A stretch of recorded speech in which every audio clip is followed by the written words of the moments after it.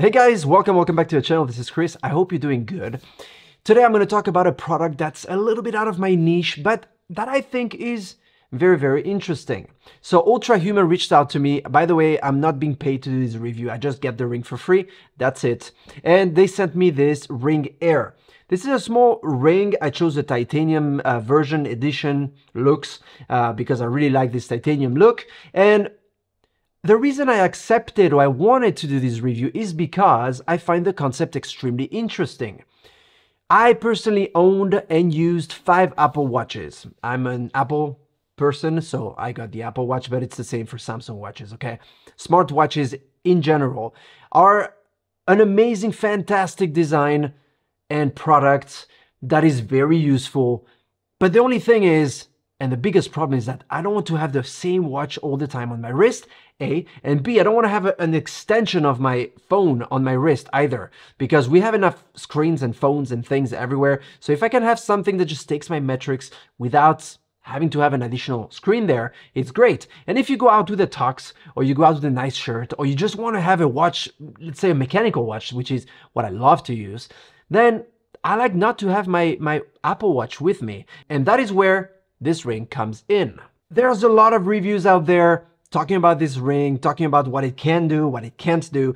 But the main thing I want to focus on here, because I could be making a two hours video and still not cover everything and every metric this watch can provide. What I want to do is just tell you a little bit my experience, how I've been using this watch, and also a little bit the size and, you know, how it feels on the hand, which is, I'm sure, what you're interested in if you're watching this video. Let's do it. The weight ranges from 2.4 to 3.6 grams, and that is depending obviously on the size that you pick, if you pick a big or small size, but that alone, I mean, we're, for the most part, under 4 grams, which is so lightweight you don't even feel it. In terms of thickness, we range between 2.4 and 2.8 millimeters. In terms of width, we're at 8.1 millimeters, which is a little bit thick, but it doesn't look bad. And I have thicker rings, so it is by far not the thickest I've seen.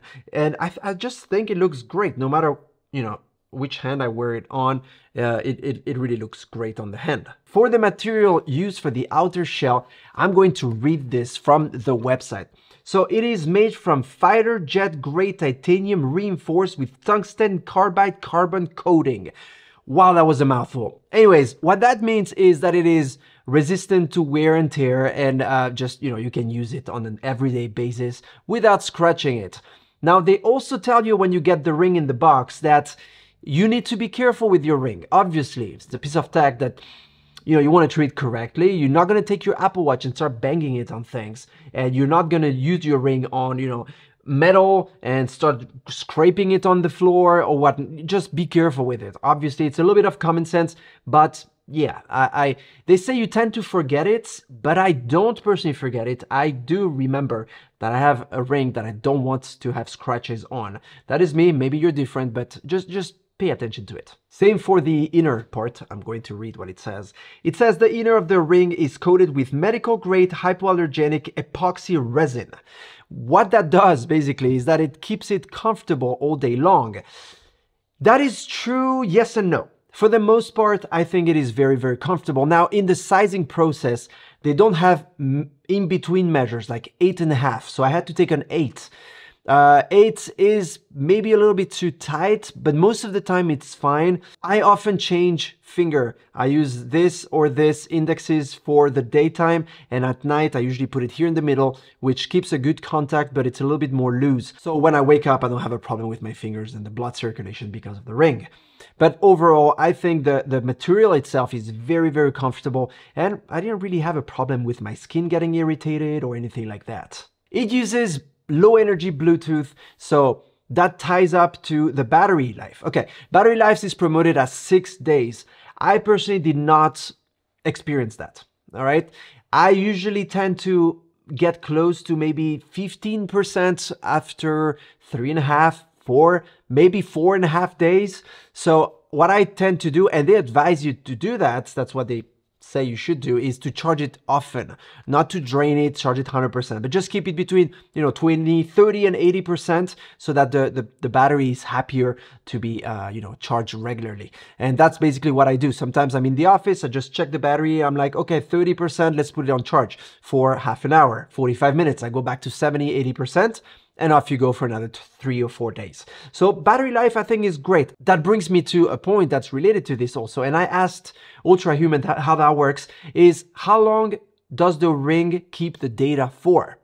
Because I was in Morocco recently in holidays. When I say recently, I mean I came back yesterday. And I was a little bit concerned as to how long the data would be kept in the ring when I don't have my phone with me because I went there and I left my phone in a safe pretty much the whole time uh, so that I could just enjoy life for a week. And I was wondering how long is the data going to be stored? And the data will be stored so long as there is battery remaining in the ring.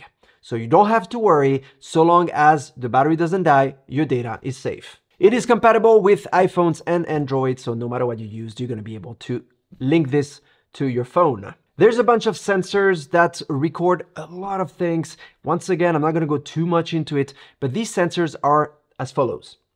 There is an infrared PPG sensor, and in fact, there's a little red light in the ring. There is a non-contact medical grade skin temperature sensor.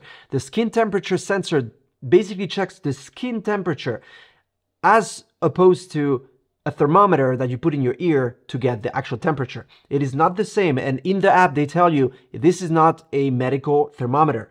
What is this useful for? It is useful for the app to know and for the sensor to check if there's a deviation from your usual regular temperature. And it tells you there was a deviation either higher or lower. And let's say that you have a plus one information of temperature going higher, then you can think with, oh, okay, let's take a thermometer and check my temperature. Maybe I have a fever. There are six axis motion sensors. So it basically, there's accelerometers and a lot of other sensors that check basically how gyroscope, how you're moving your finger and that detect that way if you're sleeping, if you're walking, if you're running, if you're doing exercise and whatever you're doing, uh, thanks to those sensors. The three different LEDs are as follows. There's a red one, which monitors the heart rate and the oxygen saturation really cool. There is a green one that measures the heart rate, and there is an infrared one that monitors the heart. So all those things are monitored automatically. And in fact, it's funny because when you lay down at night, there's no light. Sometimes you see a little green light that flashes, you know, uh, green around your finger. Your hand is like all lit up. Let's talk about the battery. It is a 24 milliamp hour rechargeable but not replaceable battery. Uh, they claim six days, but unfortunately I didn't get more than four to four and a half days. And um, it takes about two to three hours to get your ring from zero to 100. One thing that I did ask Ultrahuman, I was curious about, uh, is, is your battery going to drain more if you check the stats on your phone? And the answer is yes. The more you connect your phone to your ring, the more battery you're going to be using. So try to use it not too often so that you save a little bit of battery. Let's talk about the ordering procedure. How does it work?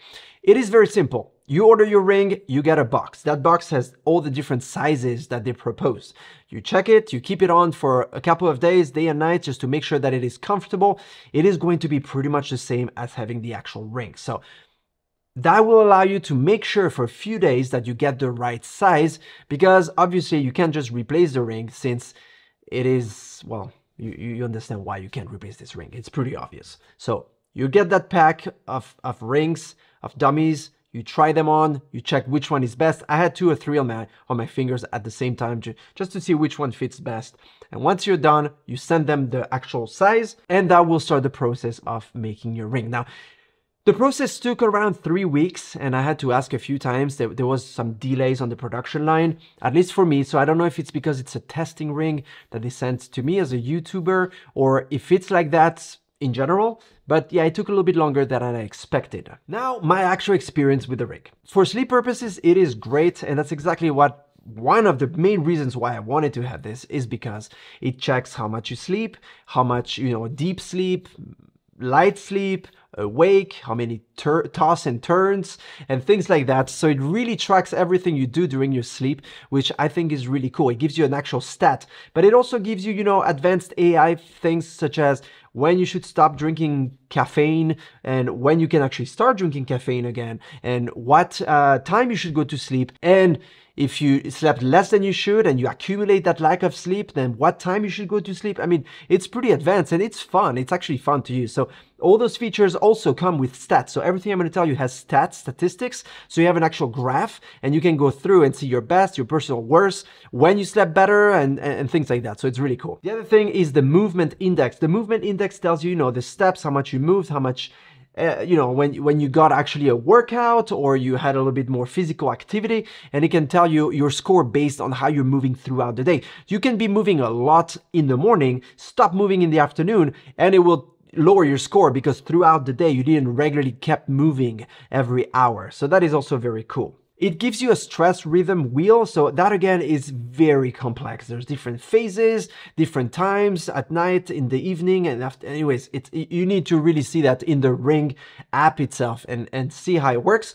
But it takes around one week to calibrate your baseline and to calibrate how you work. So it's not the same for everyone. Obviously, everyone is different. Everyone has different life rhythms and so forth. So it adapts to to your own style and and style of movements and how your rhythm is, and it tells you how your stress, le stress level is. Now, I don't know how accurate stress level is, to be honest. Sometimes I looked at my, my stats in real time, it says, you're stressed. And I'm like, no, I'm not stressed, I'm just chilling out. I'm not sure what this is based on. Maybe it's, you know, depending on how mentally stressed you are, even if you're doing nothing, but, you know, your heart rate and your, your, your sweat, and maybe that, that, you know, it takes a lot of different metrics into, into account. But it, it is true that sometimes, you know, I'm like stressed about something and I look and it just spikes up. So for the most part, it is pretty accurate. There's a new feature called sleep debt, which is how much sleep you own basically to yourself. it's actually very fun.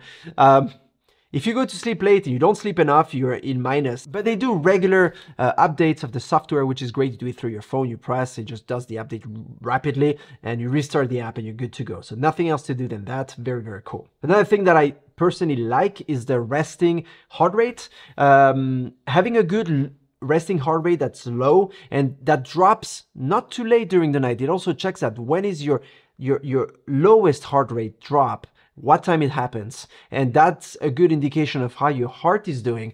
Uh, the fact that it doesn't need to pump so much to get the blood into circulation is a good indication that your heart is in good shape. So again, it's not a medical grade device, but it gives you an indication that tells you a little bit how you're doing. There is a charging base and you just put it on, it's USB-C, very simple to use. There's a little light purple and when it turns white, it means that your ring is actually charging. Can you bring this ring underwater? The answer is yes, up to 100 meters. I've been in a lot of swimming pools and no worries at all. I asked Ultrahuman a question about this.